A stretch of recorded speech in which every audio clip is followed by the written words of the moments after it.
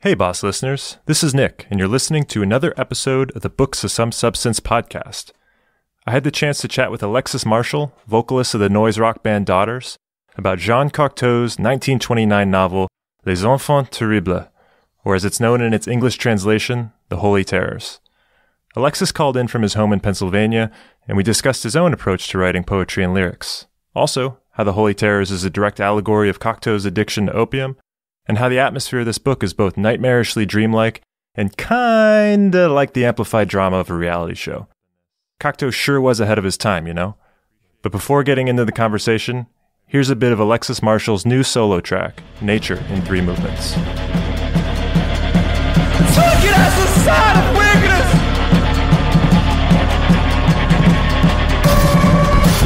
Couldn't be left alone here. He picked up a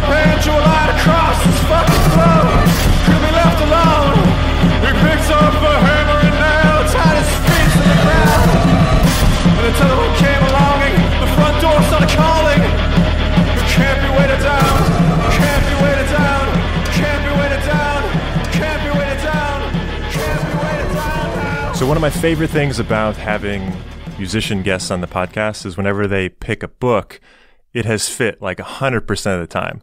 So, I just have to say, this Jean Cocteau selection, like the second you landed on it, I was just like, oh shit, that makes perfect sense. Like the aesthetic of this just completely lines up. So, you know, before we get into it, I just want to say thanks for teeing this up. This has really kind of been fun for me reading this and actually brushing up on French films and listening to Daughters records. So, I appreciate it. Hey, thanks. It was it's kind of unintentional or uh it, it just worked out. The universe brought me here to this book and then this book to the show, I suppose. Or all of us together some way.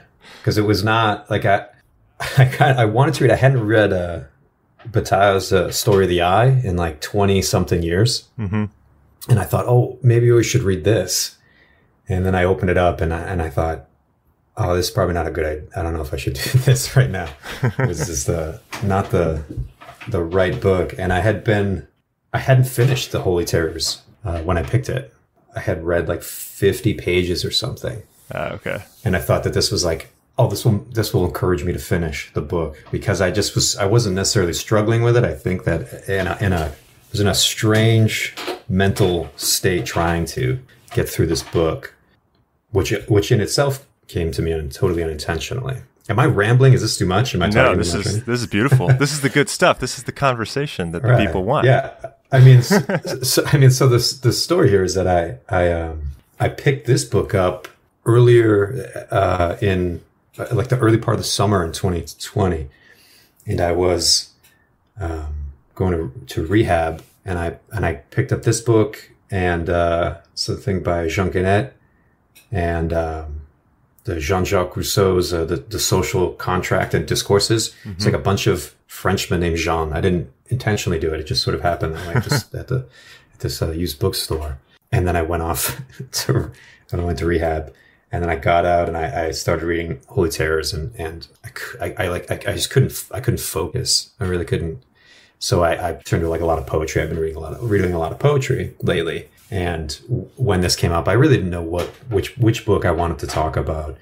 And as I said, like Bataille and and um, you know, I'm a, I'm a, a big fan of, of writers like Raymond Carver, and I, I thought about Carver or like a Sam Lipsyte, and um, I didn't have an interest in revisiting it uh, for some strange reason, and I just thought like I will I'll do this. I'll talk about this book, and I will I will just like crush this book, and then we'll be able to talk about it. and it's like totally fitting as a person who just got out of rehab, Yeah. as this book is like uh, and the encapsulation of like addiction entirely. And I know that uh, uh, Cocteau wrote it, I think, during some kind of withdrawal from from opium or whatever he was he was dealing with some kind of detox from from his opium addiction, I believe. hmm And uh, so I thought, uh, wow, that was just totally fitting, and it was all by chance. I didn't make any of those connections until until until afterwards.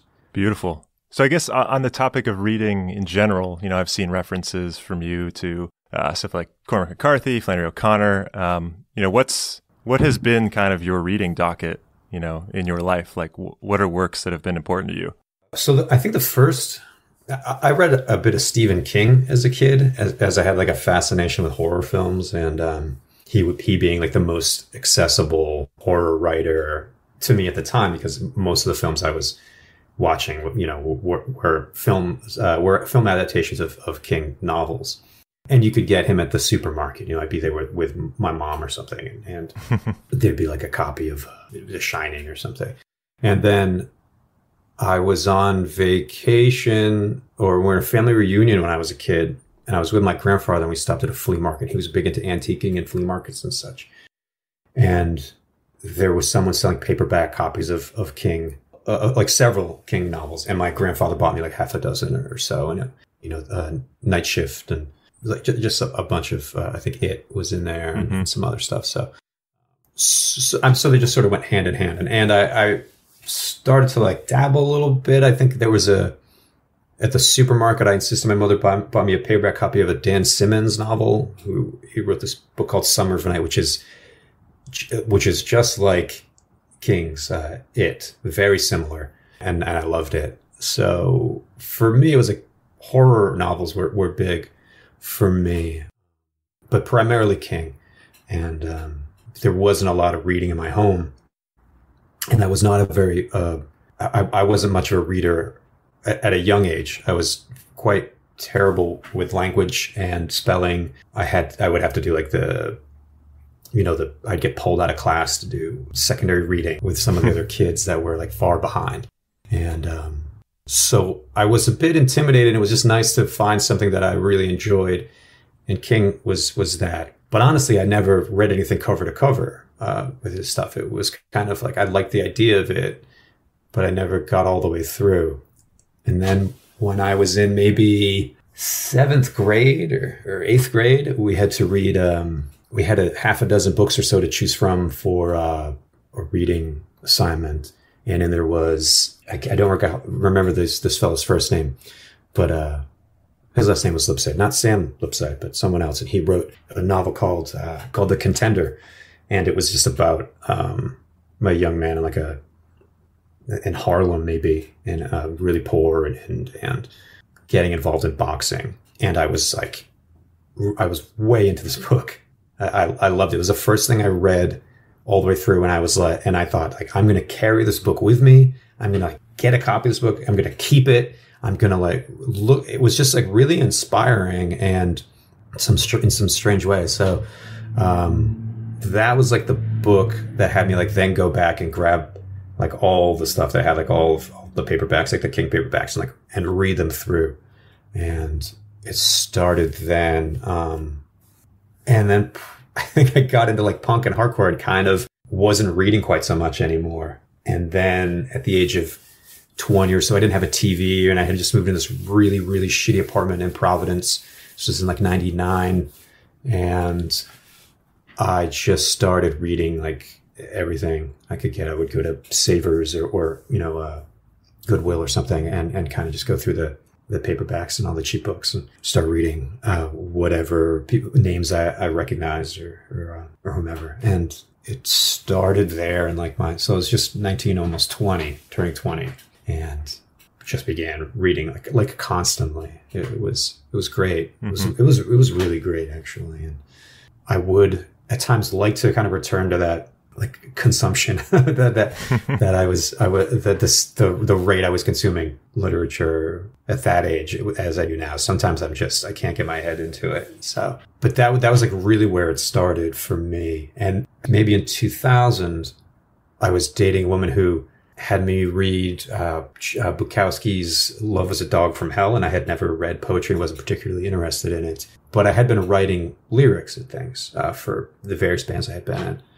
and I really enjoyed his writing because uh, you know at that age and at that time, I thought poetry was was you had to be like a, a scholar to read and write and understand poetry, and it, it involved like an, an analysis that I, I, didn't have the head for. So it, I didn't hmm. have an interest in it at all. Um, and then I read this, and it's so I don't know for for a better term than like than a kind of layman. It was very blue collar, and I didn't feel talked down to as, as I read Bukowski. Mm-hmm. So I, I, so I began reading a lot of Bukowski's work and finding uh, a lot of other poets through there. and so it really did become like a thing where, where for me it was always about you know lyrics and i was and i was fascinated with with lyricists and and what they were writing so i don't know well i do know why i, I wasn't interested in poetry i thought it was like a different world and I, it was beyond me and above me and then to read somebody like bukowski kind of to, to ushered me into that and and i began a, a love affair with poetry or something i don't know i wouldn't i you know i, I don't think i'd use that term because uh, I don't have the I don't analyze it. I think the way most people analyze poetry when they're reading, but yeah, well, I mean that's a that's a whole topic in itself in and of itself, which is just how does anyone really read poetry? Because it completely varies. You know, if you're talking meter, if you're talking form, if you're talking aesthetic, if you're just talking emotion. And honestly, the majority of people I talk to, it seems to be that last category is you're just reading it for, you know, the emotion, like what you get out of it as an individual, which I feel is kind of what it's meant to be. It's not meant to be intimidating. It's meant to be a vehicle for well, that. I think it's it's like anything where people study it and then they have classes. You could take some class at college or university or what have you, and and study something so that it, it the breakdown becomes somewhat obnoxious and, and likely intimidating to others, where they think that you know a person can know so much about something like, well, I know so much about uh, you know 16th century Russian poetry and I'll make you look really stupid if you try to talk about it. But they can't like make an omelet or something. You know what I mean? So, so there, I think that like that shit can get intimidating. Like when you, I worked at a comic book shop for a long time, and just the guys that came in there who were, who you know, were talking about this like this shit happened and it's real and it's serious and you need to know about. It. And if you don't know what happened in Spider Man, Amazing Spider Man, you know, issue two hundred and fifteen then that was a pivotal moment and you're an idiot for not knowing. It's like, it's like, have you, yeah. uh, like, do you not, can you, you can't change a tire. Like, you know, it's like, I think a lot of times people become, they hone in on something and it becomes their whole world that trying to kind of get into it and as an outsider and think like, oh, I'm really interested in that. And people start to be like, well, you'll need to do this. You'll need to know about this other thing and so on and so forth. And it can just, be, it can just, it, it becomes overwhelming and, and is a big turnoff. So as you know, to go back, it's like my view on poetry was, it was just sort of Shakespearean and and, uh, and and foolish, and you had to uh, analyze it. And this actually means this other thing, and then it was a long time before I realized that poetry was just I needed to interpret it the same way I interpreted the lyrics I was writing and the lyrics I was reading. That that it means whatever it need I need it to mean, and that's good enough. And the poet wrote something, or the writer wrote something, and may or may not take it the way that's intended and that but that's perfectly acceptable and it's okay because what it needs to do is to resonate and that's all anything i think writing and music and art in general just the goal is for it to resonate with the viewer listener whomever reader so that you we, we get something from it and not necessarily understand it in, in those very basic terms of, of what we would think understanding is so when you're when you're writing your own lyrics and your own poetry with this influence and this uh, I guess aesthetic of of thinking about it only needs to mean what it needs to mean. You know, where where do you pull from? Do you pull from these other authors and these other poets? Um, do you pull from outside things? Is it a conscious decision to uh, you know pull from other past authors and other reference sources? How does how does that kind of manifest itself in your own work? It depends on like what I'm working on and uh, it can either go like very well or horribly wrong. And when I'm writing songs, it's more, uh, it's much more physical. So I have to, I stand up, I'll walk around, um, I'll, I'll, I'll find perhaps like the middle of a song or, or some kind of hook and kind of get stuck there and then write, you know, if it's, a, if I have the middle sorted, I'll have to go backwards and then that before I can progress forward. And, um, it, there's no real structure to anything where I say like, well, this one needs to happen here and then something will happen. Here's the beginning, middle, end.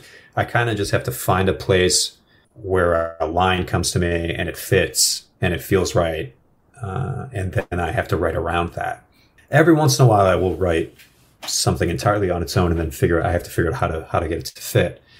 But, um, and I, and I probably did that more so with, um, this, this record I, I have that Sargent House is releasing that, that I, I recorded this past year, which would be like my f- first solo endeavor or whatever. Mm-hmm. And um, that was this the songwriting kind of lacked a lot of structure, which is what I was hoping to do, and so the writing was just in, in some kind of dream world, uh, you know, other realm type of place that I was writing, just sort of a bit more, much more abstract than I think a lot of the storytelling I've done in Daughters. So it's there's variations within within the theme, I suppose. Like uh, if I'm singing, I can write in several different ways, as I described to write for Daughters, and of like a more structured way, and then a less structured, kind of abstract way for the solo record that I did. And with poetry, it's it's I think I was at my worst when I was trying to be my best. And my book that was published several years ago, I look back at it and feel very foolish. I don't. There are like a handful of poems in there. I think I, I did very well in the in the writing, but I I was trying to write as a poet. I wanted to. I thought about a lot of poets I who I enjoyed and and I admired, and decided to that this is what poetry is right now. And it was the over analysis that I got my own way and tried to write poetry.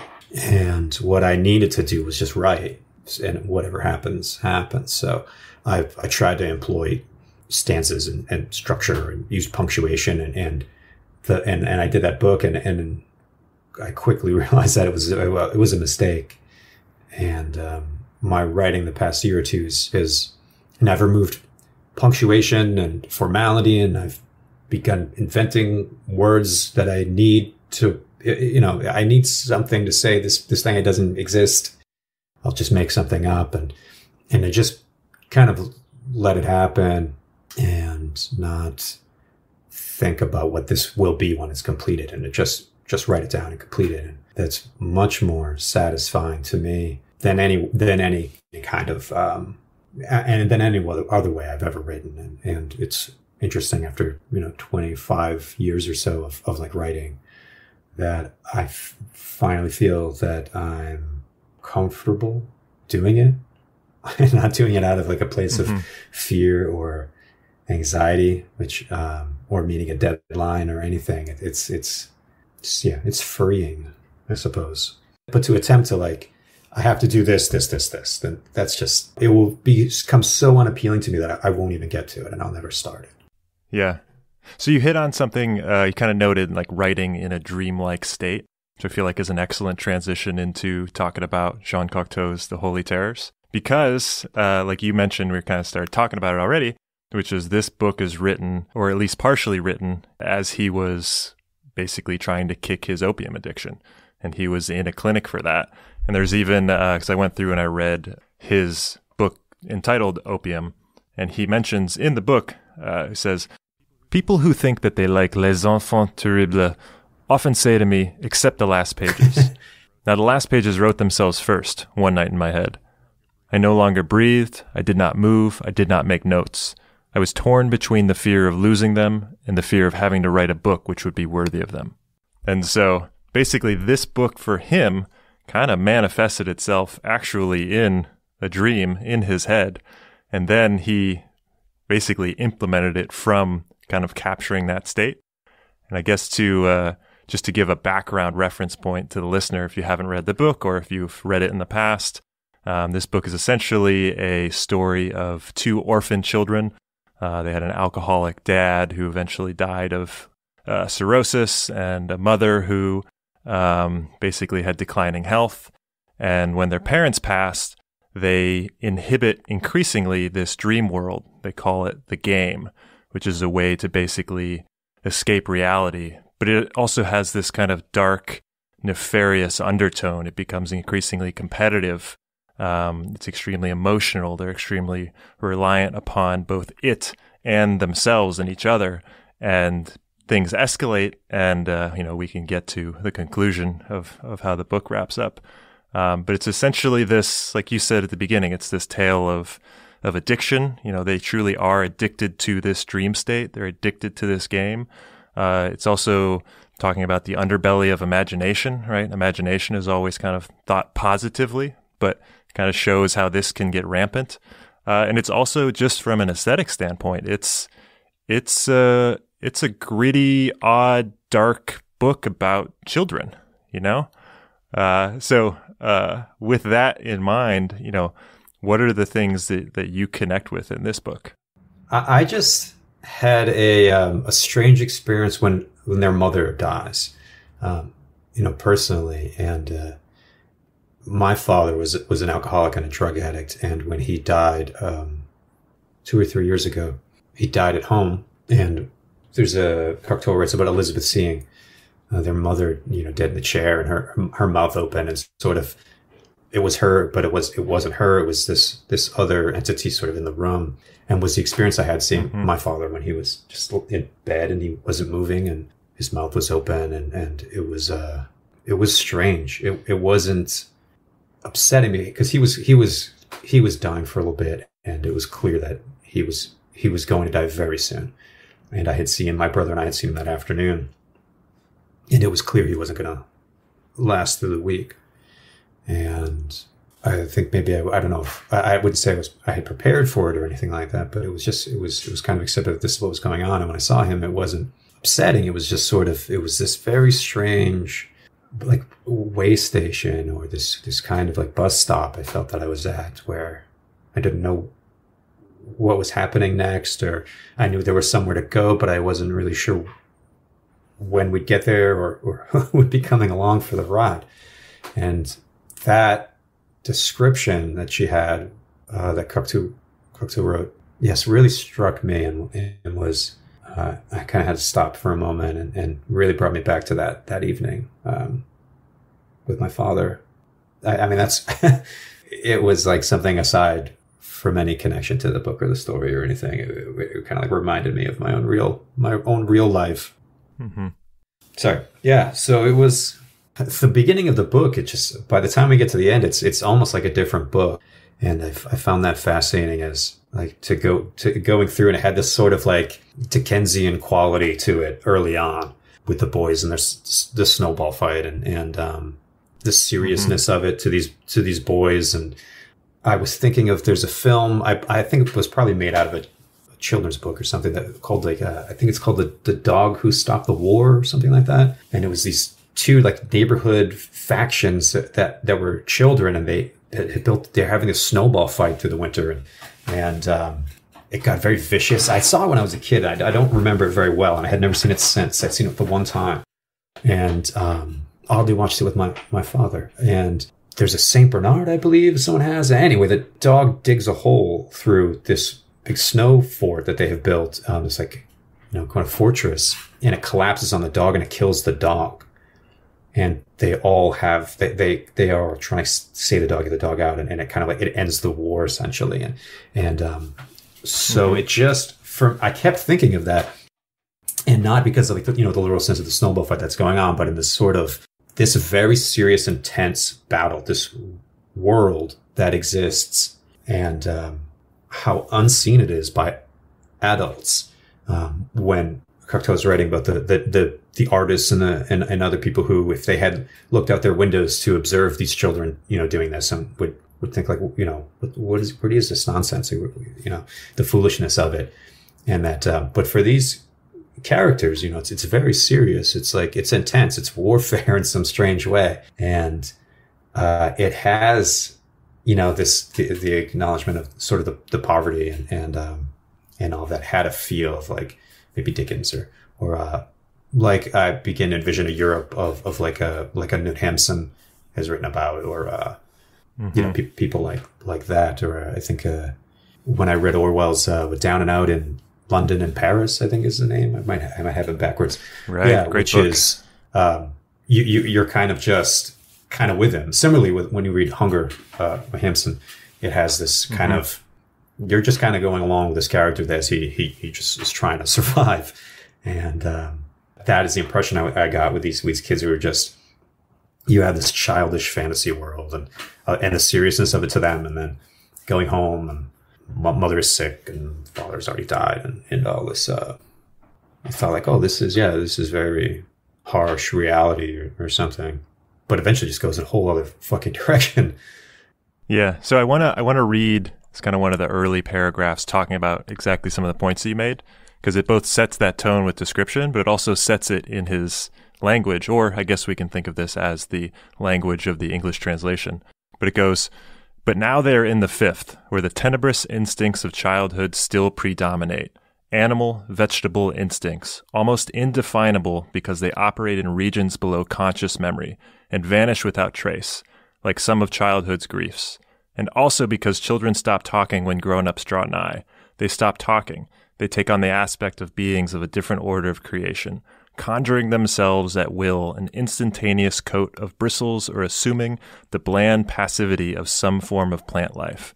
Their rites are obscure, inexorably secret, calling, we know, for infinite cunning, for ordeal by fear and torture, requiring victims, summary executions, human sacrifices. The particular mysteries are impenetrable. The faithful seek a cryptic tongue. Even if we were to chance to overhear unseen, we would be none the wiser. Their trade is all in postage stamps and marbles. Their tribute goes to swell the pockets of the demigods and leaders. The mutter of conspiracy is shrouded in a deafening din. And so, yeah, all those points that you just hit on, like that paragraph, Cocteau just basically lays out this this world that you're right. It's it's kind of uh, it's based in a childhood game, mm. right? They're just throwing snowballs, um, but it still has this this kind of hint of darkness, yeah. right? That you know we think of children as always having just a good time of play, right? Uh, but these things are very, very real to them, and um, essentially, not long after that, uh, Paul, one of the main characters, uh, takes a snowball filled with a rock from his, I guess, uh, the other student he idolizes, uh, Dargelos. And that basically puts him into, uh, you know, he's kind of at some level just injured for the rest of the book. He's weak. He can't go to school. It kind of accelerates the uh, the entry into living in the game full time, right?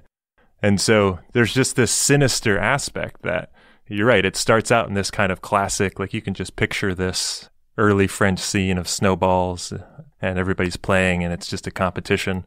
And then it very quickly turns and then they're inserted back into the apartment. The mother dies, they're on their own, and it just continues to descend from there.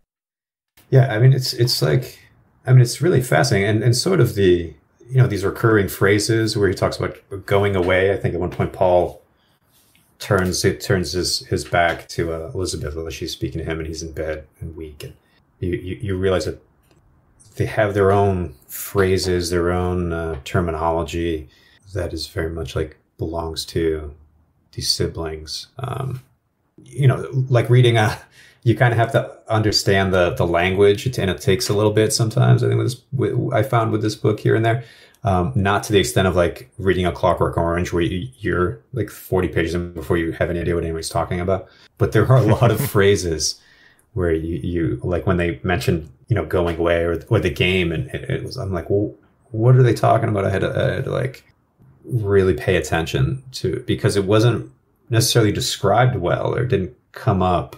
Uh Cocteau didn't describe what the game is or anything. You sort of have to piece it together. Mm-hmm. well which I I, I kind of liked. Yeah and that's that's kind of the magic of it right is is he leaves that it's an interpretation but he leaves it open for the reader to kind of insert what that is so I guess what I'm curious because I have kind of my own visual picture of it, but how do you how do you picture the game? I mean, there's some concrete aspects to it when they're playing the game in real life, when they're trying to steal things, they have these competitions between them.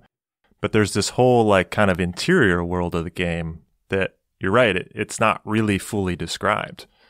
So, like, how do you view that when you're reading? I, honestly, uh, like all the way to the end, I, I felt very unclear as to what the game exactly is. And uh, this is gonna probably sound ridiculous.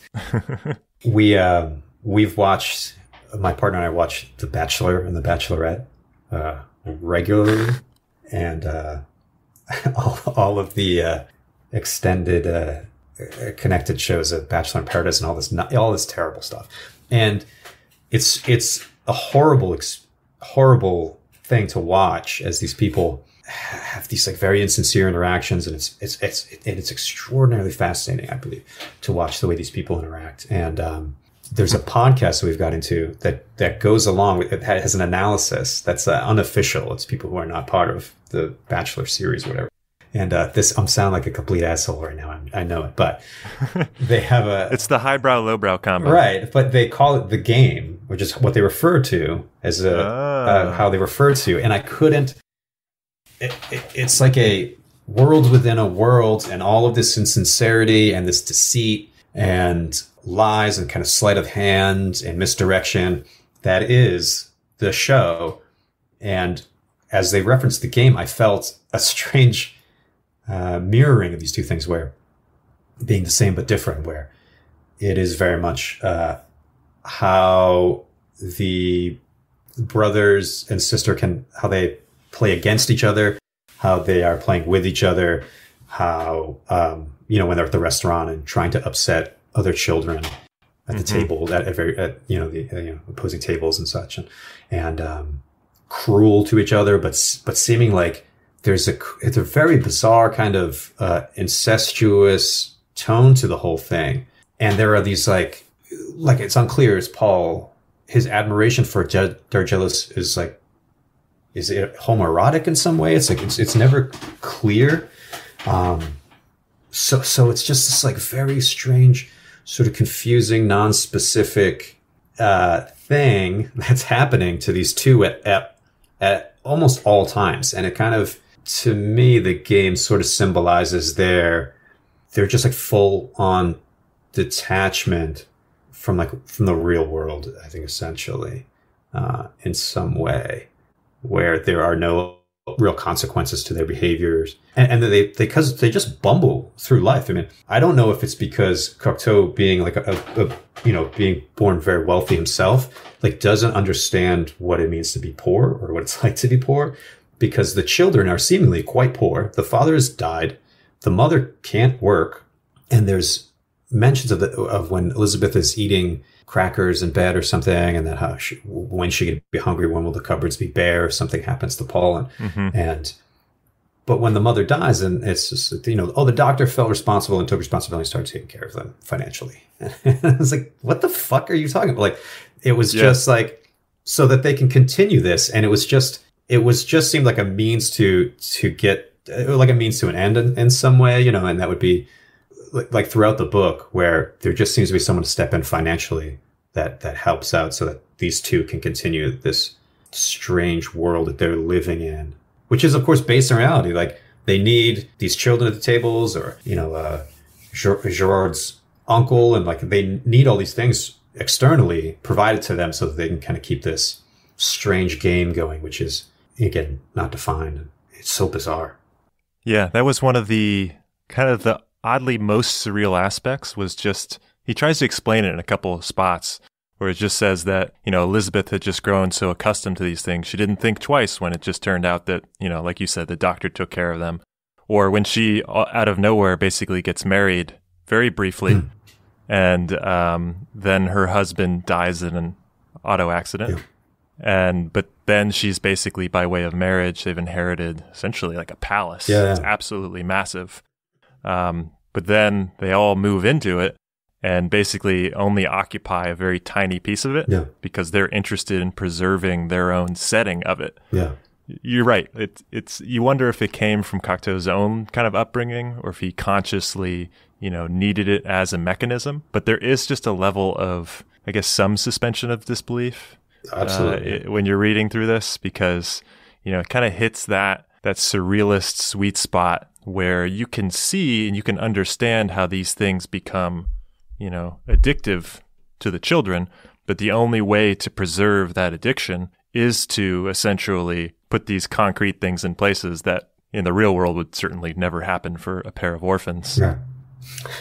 But it, it does it does uh, lead into that that concept of this book really does seem just like a metaphor for you know Cocteau's own addiction issues, and um, I want to read a paragraph where he references that, where he says, "She has ascended into the room as if into the heaven of her hell. She could live at last. She could draw breath. Nothing worried her."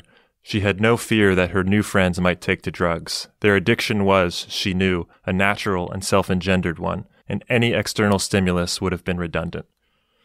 And so throughout this, he's basically elevating the game and their interactions with each other to uh, fit into this analogy of addiction.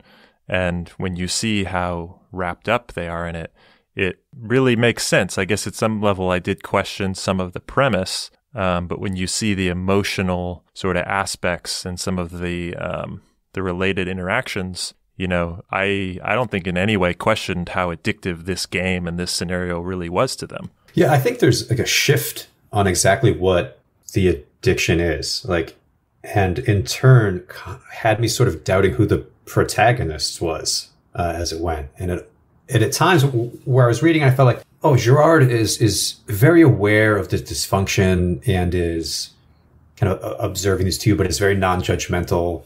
And you know, when I started feeling that way, they surely went like, you know, a couple pages later, he had gone.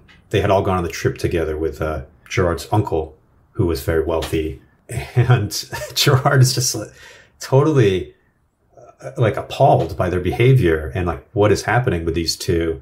And it's seeing their behavior.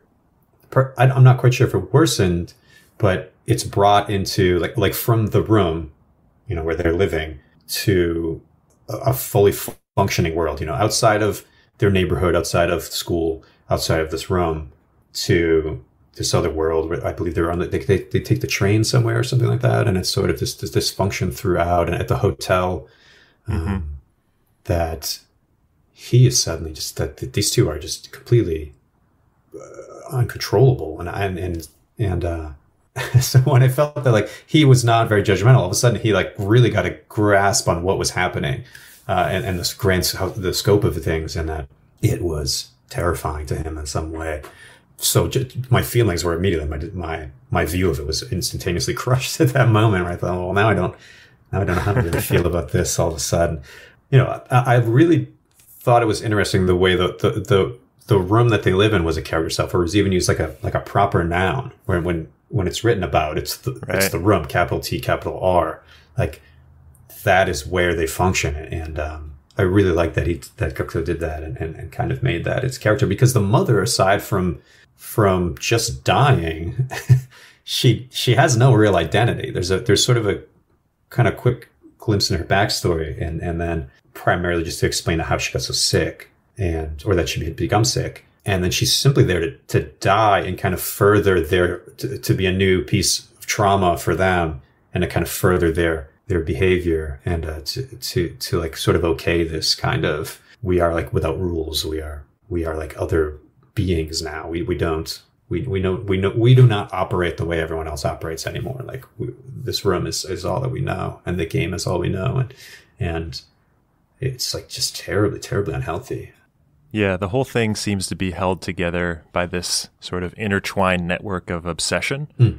You, you, mentioned, uh, you know, Paul's obsession with Dargelos, and uh, one kind of minor character we haven't talked about, but Agatha, who is, uh, I guess, a coworker, mm. one of the mannequins uh, uh, within one of the French sort of dress stores.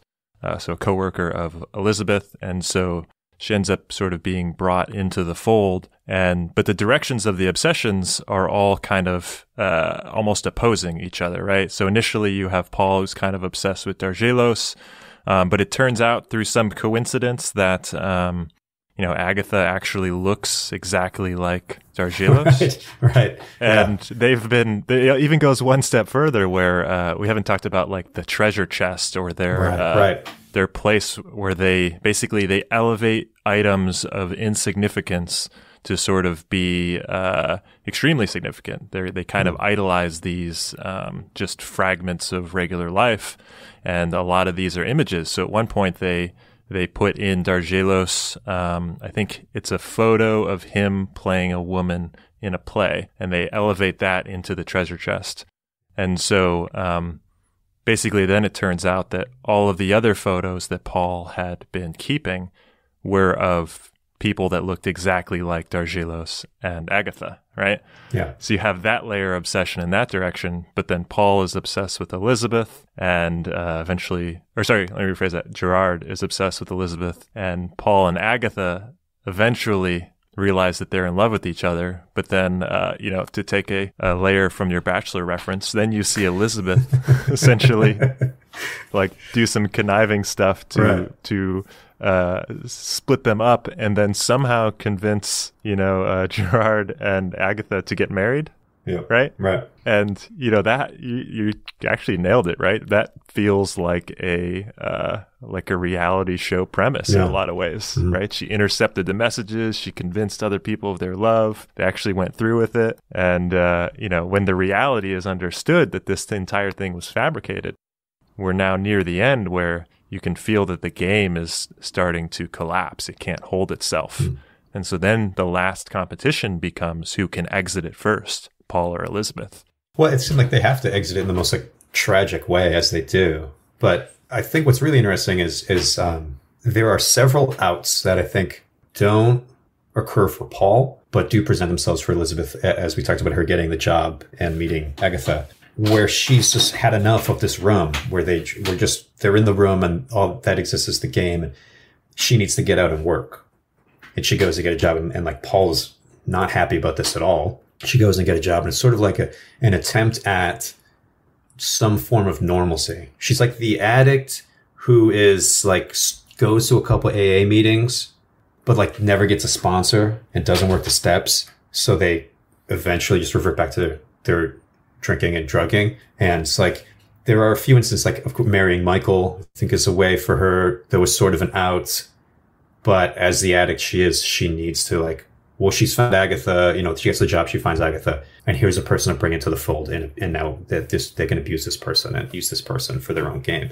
Michael's wealth becomes like, well, here's an out, and and and she can sort of get her shit together. And instead, she brings her brother and, and Gerard and everyone into the home, and everyone can have their own room, and then they all move into the same room, and it's just sort of like it's every every uh you know shiny coin that is that is presented that is sort of like you know here's your opportunity she just like you know throws in the fountain and just like goes right back to what she was doing in some way but but you know it, it's interesting that that she has these opportunities presented to her and paul never never has them and you like almost has she not become so f- i think with a lot of addicts where like addicts come from somewhere that is like a, a terribly unhealthy place and and there's like an innocence that you see in elizabeth early in the book where she's taking care of their mother uh, paul when he gets sick i think he he like can't stand up for a while i think he becomes bedridden and Yeah, it's bedridden. yeah, and she has these moments of just what's going to happen. Mother dies. Paul will die. I'm alone. Like, what the fuck am I going to do? And you know, that's sort of like that kind of that situation breeds this terribly addicted, abusive person, and you, you watch it happen, and and also like Cocteau kind of leaves us to to fill in a lot of gaps. A, a couple year, like a year will go by or something like that, and and he hasn't. He's it's just it's not a new chapter. He's just this is now this is occurring, and you can only mm-hmm. assume that they've spent the past year doing God knows what to each other, which I found really interesting. That he it didn't like break it like you you just figure it out. You realize that oh, it's been three years, and I've these past twenty five pages, and you know, th- th- there's no one to, to kind of s- step in and, and and really help these these kids and address this like their trauma and and to like see them through it and help them assimilate into into the you know the, the normal world for lack of a better term that they just are so stuck in this fantasy and what, what like what the hell else could they do like of course of course this is where they end up you know Right. Yeah, exactly. Yeah, I was thinking about that too with respect to kind of the inherent, um, like the visual element of this book, because it has illustrations by Cocteau himself. right And then there's also, um, if you read a lot of the descriptions, it really does seem meant for the screen. And um, I don't have you, have you gone and watched the the film adaptation? i've never watched it no Okay, so I, I just I just uh, watched it last week because I kind of got addicted to this. and uh, there's this one paragraph, and this is when uh, Elizabeth's husband dies in this like very kind of absurd car accident.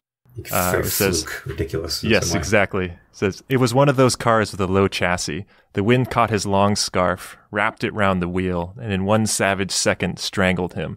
The car skidded, buckled, reared against a tree, and was nothing but a heap of wreckage with one wheel spinning like a roulette, like a roulette wheel. Slower, slower, slower in the silence. And the second I read that, and if you kind of mix it with the, you know, the tone of the illustrations as he's putting it through, which in my opinion kind of shift a little bit as they get darker and darker. Um, but then like the imagery of that wheel spinning as this man has just met his maker. Um, when I was watching the film, uh, that shot is in there too. the actual crash itself is is uh, probably through you know mid-century censor standards uh, is not very violent, but the imagery of that broken, flipped over car with the wheel spinning slowly and slower and slower uh, is there, right? Mm. So all of this, um, this kind of interesting psychological stuff, the tone of it, some of the borderline absurd things, to me, is actually supported really well in this uh, visually leaning, I guess, narrative style or writing style. And I think that is like a testament to Cocteau's experience as really just a multidisciplinary artist, right? He is responsible for a lot of cool film shit. He's written fiction, he's written poetry, drawings, paintings, things like that.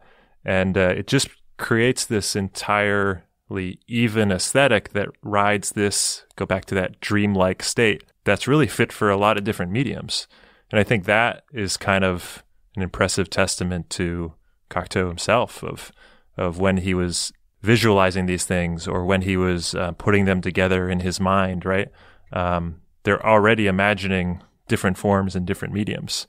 And so I just think through that with respect to, you know, how basically nuts this book starts to get and how delusional and how uh, just odd and almost nightmarish it gets. And I just, uh, I don't know, I'm a fan across the board in whatever level or whatever medium this story ends up in. I, I just dig it. He's, uh, yeah, multidisciplined. Yeah. I mean, and all the film work he's done and, and his writing. And, um, I, I love the drawings. I think they're really wonderful. Yeah.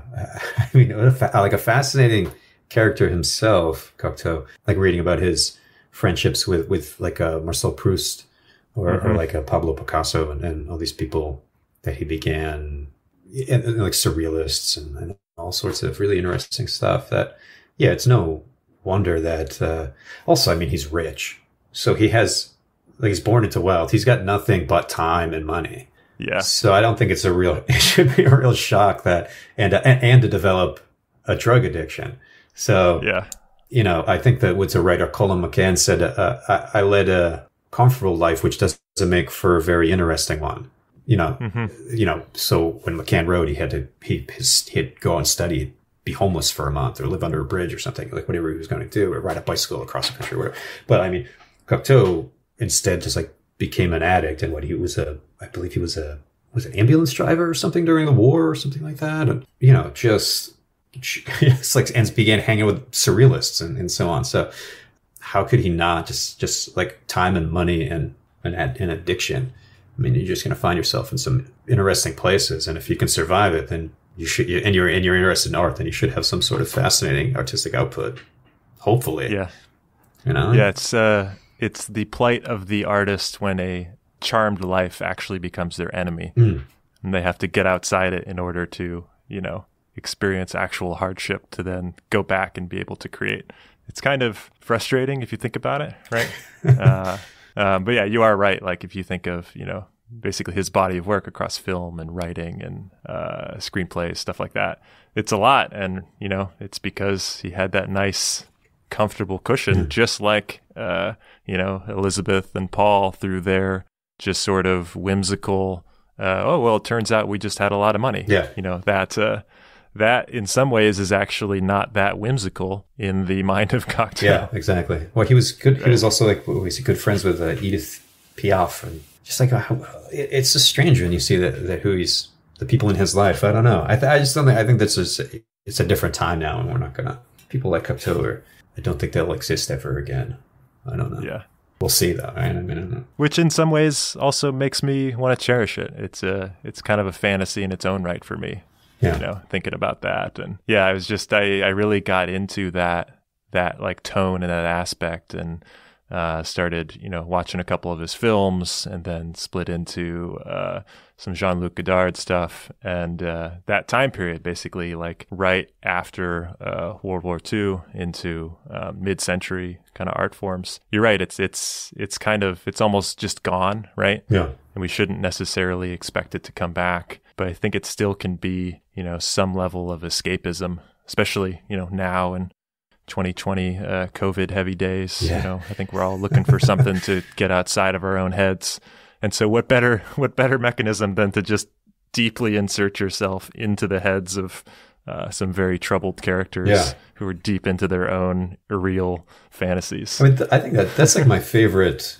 I, I'm far more interested in reading about just like terribly flawed characters. Um, you know, I don't really want a hero to kind of come out clean at the at, on the other end. I think when I'm when I'm reading, um, I like these sort of detestable protagonists that, that you don't want to root for them.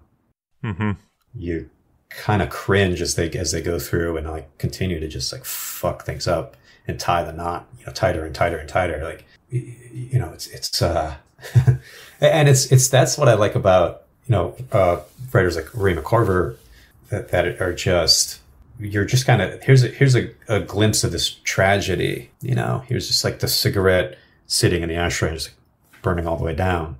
It's it's um, yeah. I, I don't know. I don't feel. Uh, I think I, I had my mother watch a film. I, I had my mother sit with me and watch uh, Inside Llewyn Davis, or she wanted something to watch. Oh, maybe you'll enjoy Oh, this yeah. film. And she said, that was terrible. And I, I, I was so bummed out. And she's just like, What are "Oh, you talking about? Yeah, It's I know." incredible. But she just like, she didn't like that. He just, all these bad things kept happening. And, and it's sort of like, well, that's, that's the fascination is that there's, there's, there's an out somewhere. It's presented here and there, but we're watching these characters just totally like fumbling in the dark, just unable to find the light Right. switch. And you don't root for them. You don't root against them. You just want to see what's where it's going. You know, and, and I, I, I really, I love that. You know, that's, um, but perhaps speaks in some way to my own issues. So, Yeah, I mean, I'm I'm very much in the same boat, right? Like you kind of hit a uh, nail on the head by saying, well, who's actually like the protagonist of this book? Because it's really not presented, or if it's there, it doesn't seem obvious to me, right? Well, there's a point where when Michael shows up, and and uh, Michael is described as uh, in every way the room's antithesis. You know, like he's well off, he seems intelligent, somewhat caring at the very least, and he is the complete opposite of this room, which is likely dingy and dark and just filled with animosity and anger and just they're poor as shit and they should have each other to lean on, but instead they just like, you know, dig their elbows into each other's shoulders. You know, it, it's just, and these are our main characters. Here comes Michael, the antithesis of this room, of the experiences they've had and their lives. And not just like the opposite or the beam of light that comes in. Like he's the, he is the fucking, he's, this room is against what he is. And they use him. And luckily for him, he fucking dies. Cause God knows what would have happened to the character. He had to Right. like, It's gonna get worse. continue to live with these people as they like, come Yeah. into his home. And when uh, Paul builds this like strange hut, you know, the doctor comes and Paul's very sick and we're like, you got to move into a comfortable place. And he's just wrapped in blankets and doesn't want to leave this bizarre like hut he's built out of wood and fucking screens off the windows and shit. Like it's just so strange. You almost wonder up front, like, how did Michael not see how fucked up this was? She must, you know, like, what? is he just blind? I couldn't tell if she is just she gets the job as the as a as a in the window as as a mannequin, uh, Elizabeth. So I'm not sure if she. I mean, they, are they beautiful? Are the children just beautiful on a, on a on a surface level? You know, is that what it is? Is she so stunning that Michael was just thought, oh, how wonderful? Or did he think he was going? to Did he have some sort of like savior complex? He, he was going to like come in and save this beautiful young woman from this mm-hmm. awful, terrible, poor life that she lives, and I don't, I don't know. It's so strange. And whatever the appeal is to to Gerard and Agatha, who who interestingly find their out, and Elizabeth supplies that with, by you know lying to them each and getting the two to marry, so that sh Elizabeth can be left with Paul, and you know where where they stop coming over, they don't want to see each other, and I think it's like so.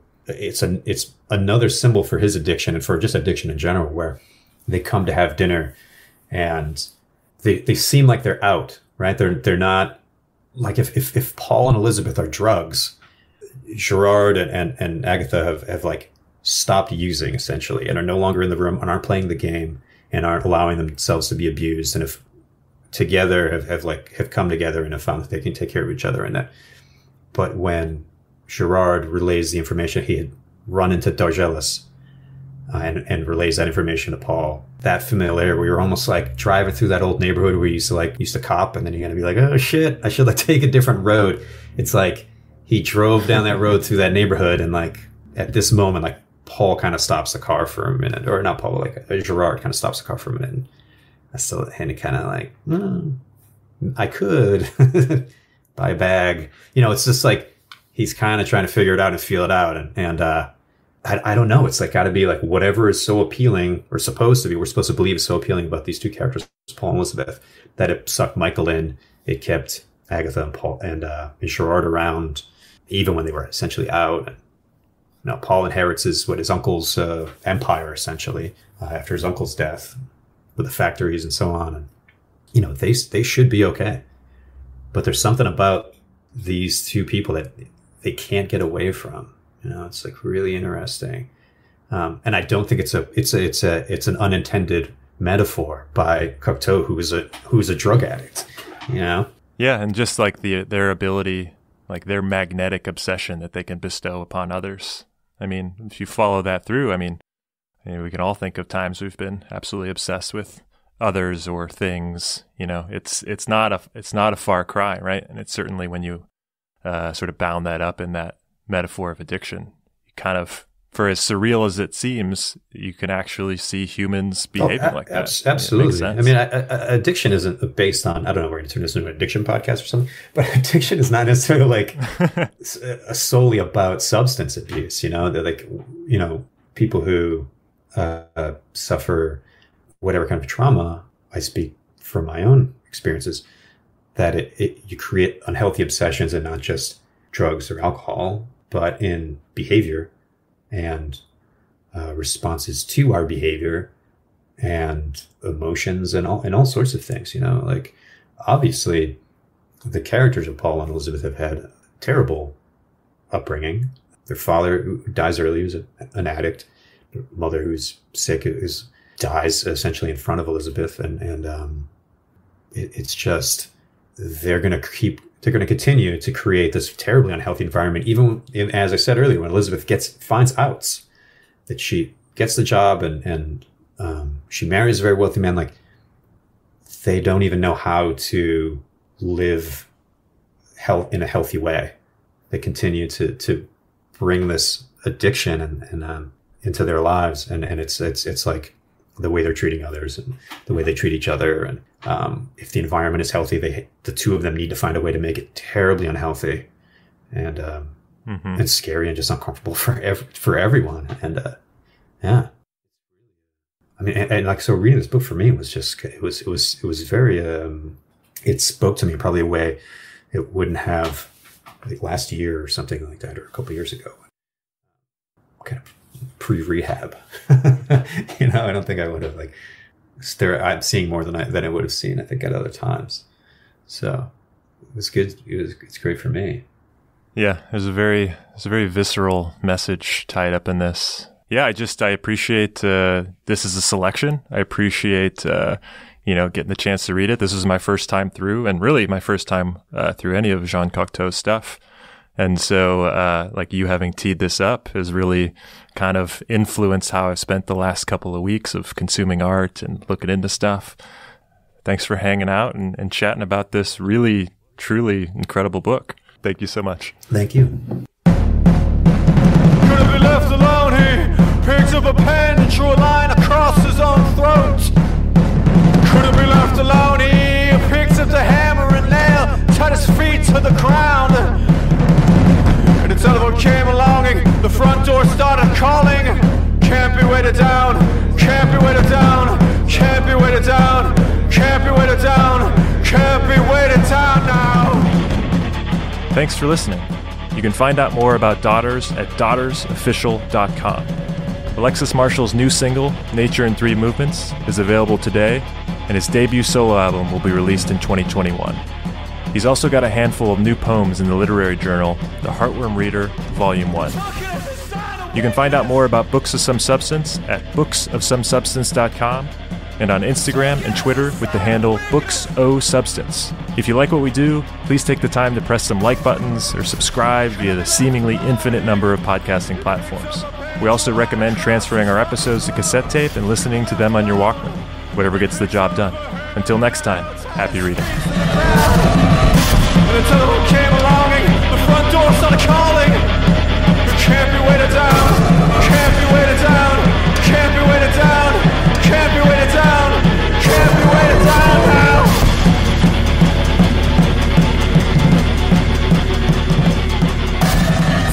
a sign of.